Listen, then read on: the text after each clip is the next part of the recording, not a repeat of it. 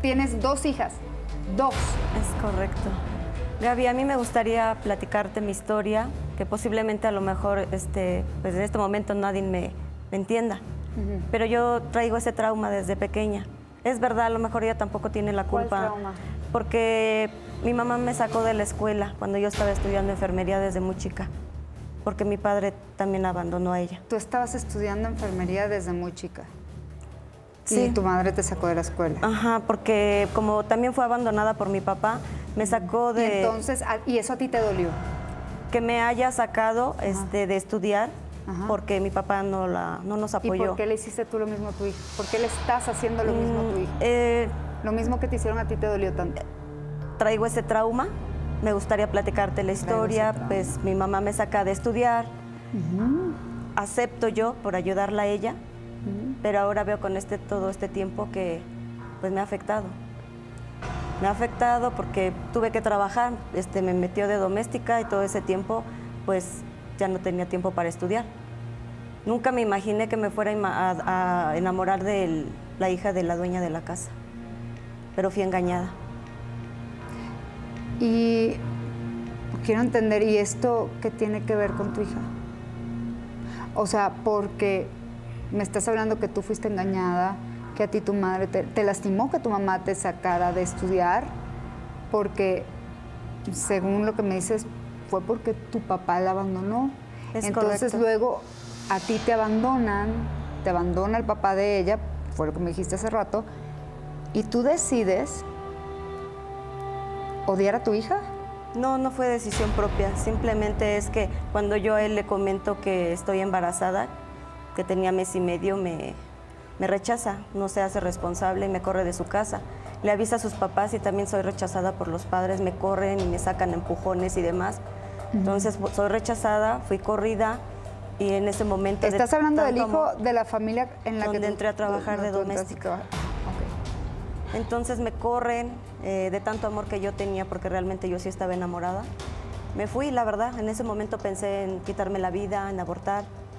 Pero me encontré llorando en la calle a una amiga de mi mamá. Me lleva con mi mamá y me obligan a comentarle qué me está sucediendo.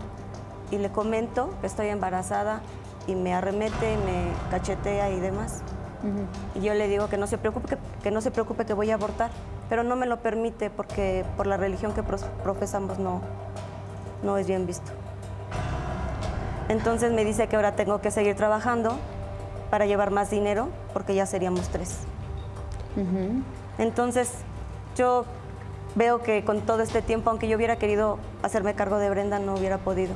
Y aunque yo he tratado también, hay algo que no, no me, no me lo permite. Y Mi sé que es mi hija, sé que es mi hija y que yo debiera de quererla, pero, pero no, hay algo dentro de mí que no me lo permite y siento mucho odio por ella. Bueno.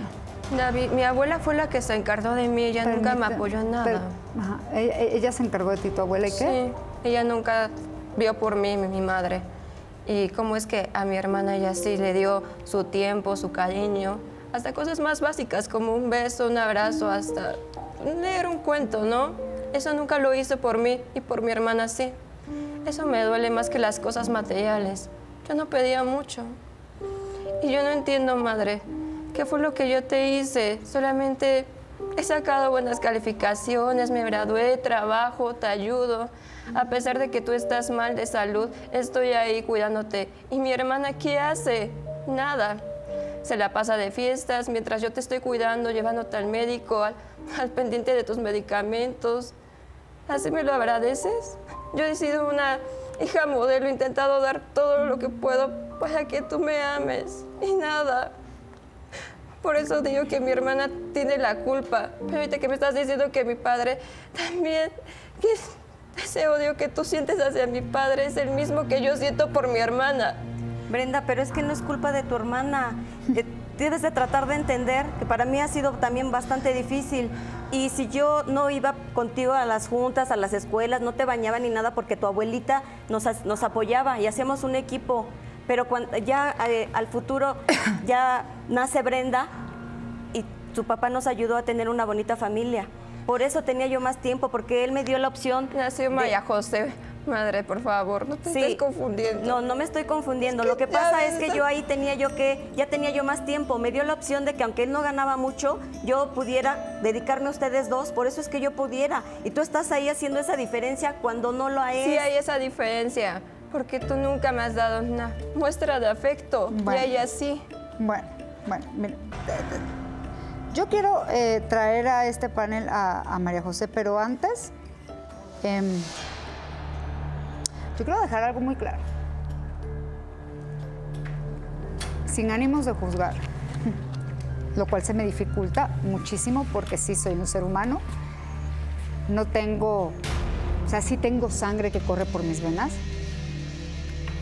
sea cual sea la historia, eh, los traumas que puedas tener, a mí se me, se me dificulta muchísimo encontrar una justificación para que una madre no solamente rechace, sino también lastime a un hijo de esta manera.